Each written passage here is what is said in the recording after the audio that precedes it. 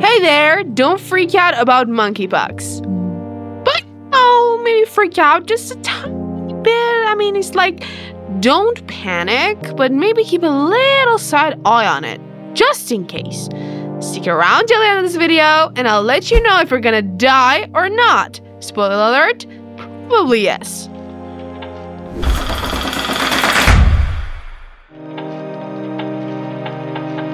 So here's the deal. Monkeypox isn't exactly the Grim Reaper no- knocking at your door. It's not usually deadly, but if you decide to just wing it while showing symptoms, well, let's just say you might be pushing your luck a bit.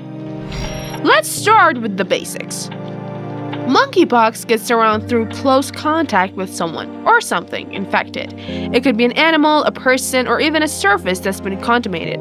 The virus has this annoying little habit of sneaking into your body through cuts, broken skin, or any of those vulnerable mucous membranes. Oh, and by the way, it's to have been shown that you can catch it from having sex with an infected person, just in case you needed one more thing to worry about in your love life. Now, most people don't get hit too hard by this thing. Your typical monkeypox journey could go something like this.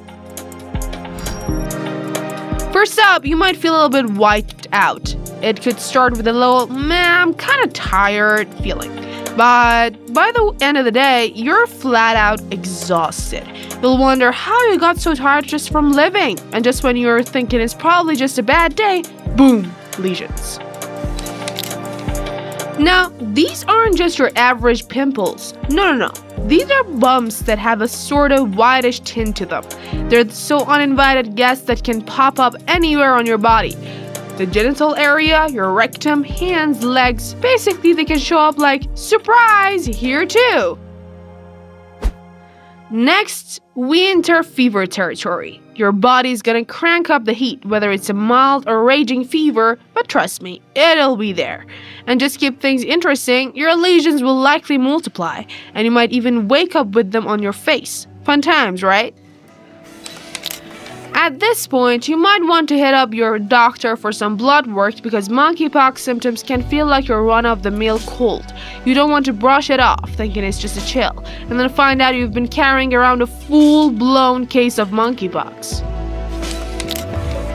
Oh, and let's not forget the swollen lymph nodes.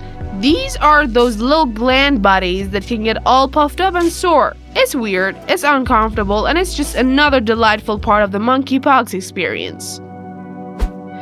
This roller coaster ride usually lasts for about 6 to 13 days. If things start looking better after that, congratulations, you're on the mend. When those pesky lesions begin to cross over and fall off, you can breathe a sigh of relief. That's a sign that the virus is waving goodbye. The tiredness will likely hang around for a bit longer, but hey, at least you're almost in the clear. Just make sure you're in touch with a healthcare pro through this whole saga, okay? Having the right meds on hand will make the whole ordeal a little less miserable. And once all these crusts have fallen off and your blood work says you're good to go, you're no longer contagious. But remember, you're basically a walking germ factory from the moment the virus enters your system until those crusts are history. Before you go, don't forget to smash that like button and subscribe. It really helps us out. And honestly, don't stress too much about monkeypox. The odds of actually dying from it are about 10%, which, okay, sounds kind of high, but you know, it is what it is. Until next time, stay safe and keep those lesions in check.